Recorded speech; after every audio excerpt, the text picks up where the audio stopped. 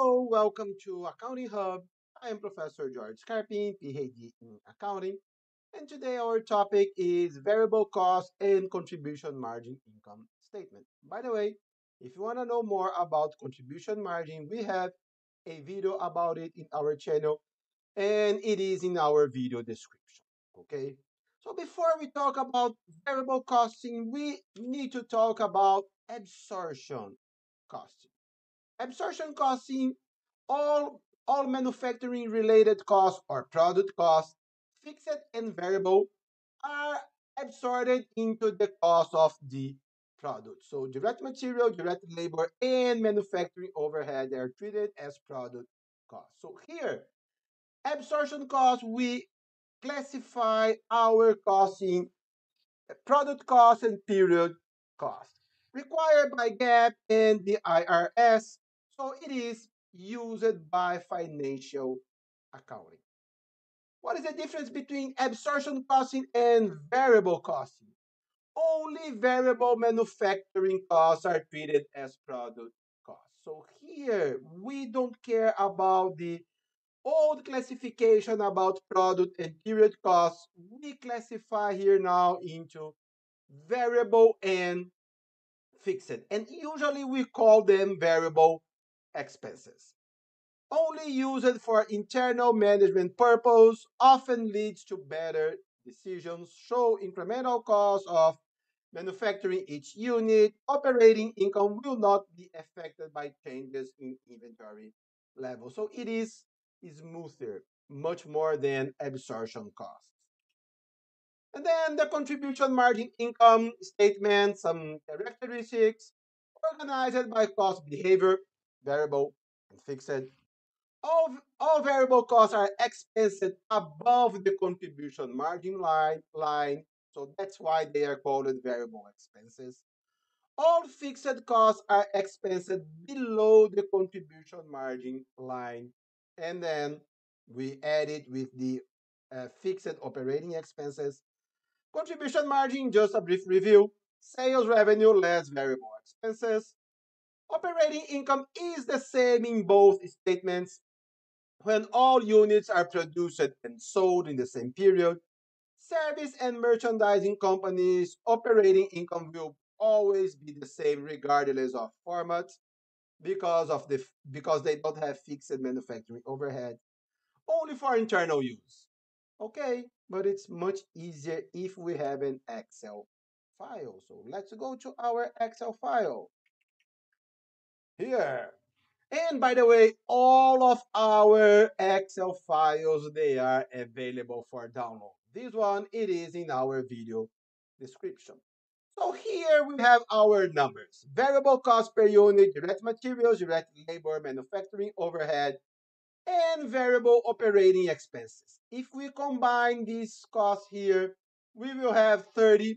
That is the same as our previous video about contribution margin variable expenses 30 units sold 2000 selling price 65 so units sold oh sorry 2000 units selling price 65 and let's consider for now units produced 2000 units. And our fixed numbers fixed manufacturing overhead $30000 fixed operating expenses $15000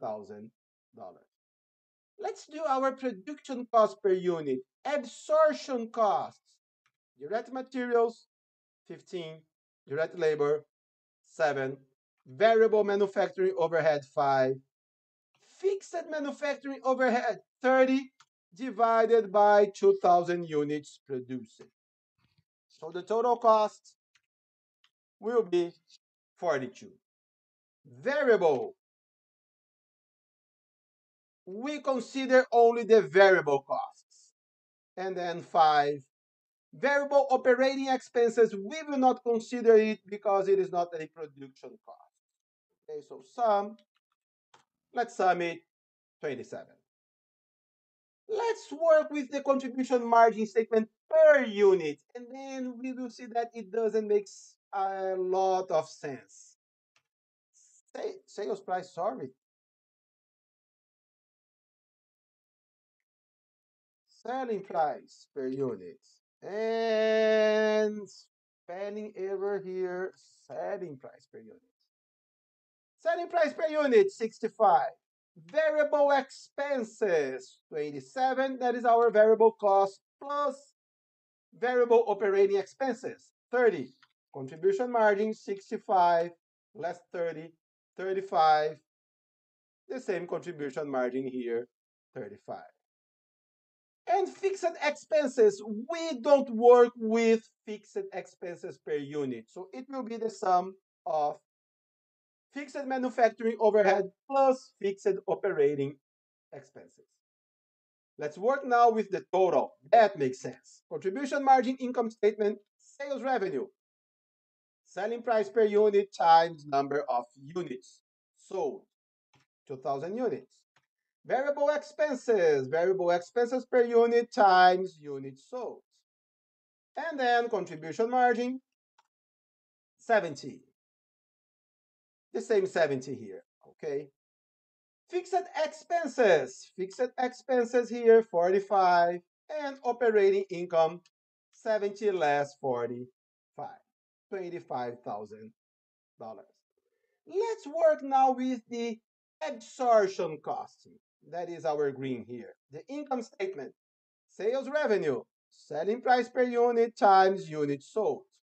The same 130, the same 130 here because it's sales revenue, it doesn't matter what kind of costing we are working with. Cost of goods sold, total cost per unit times units sold. And gross profit, sales revenue, less cost of goods sold, 46. Operating expenses, the variable operating expenses per unit times unit sold plus fixed operating expenses, 21. Operating income, gross profit less uh, operating expenses, 25. The difference in income between contribution margin uh, between contribution margin income statement and the absorption costing income statement, nothing. And here we can go back to our PowerPoint here. Operating income is the same in both statements when all units are produced and sold in the same period. Unit produced 2000, unit sold 2000. Changing our inventory. Units produced less units sold times total cost per unit. Nothing, because we have no inventory. But you will see why we have this formula. Variable costing, units produced less units sold times 27. The difference here, variable less absorption, nothing. So our operating income is the same because we have no changes in inventory. Let's consider now. Our inventory will increase. We produced 2,000 units, we sold only 1,900. Now our operating income is not the same. The, the uh, contribution margin income statement or the variable costing provides a lower operating income. And where is this difference?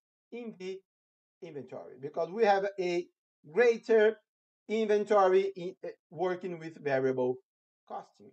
So here our inventory is increasing. That's usually what happens when the company is growing. And in a good economic system, the company will always grow. So the inventory always uh, will grow usually. And remember, lower operating income provides us lower uh, uh, income tax, lower dividends. Financial accounting, they don't want, or financial accounting, they don't want lower dividends. IRS, they don't want lower income tax. So let's go back here on PowerPoint.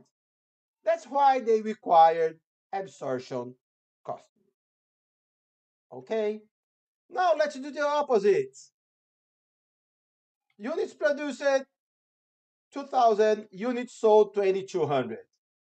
Now we have the opposite. Greater operating income in the variable costing or contribution margin income statement, lower operating income in absorption costing or traditional income statement. Where is this difference? It is in the inventory. Okay, guys, so thank you so, oh, thank you so much. If you have questions or comments, leave it here or email me at jscarpin at gmail.com. Subscribe our channel, like our video, and have a very nice day.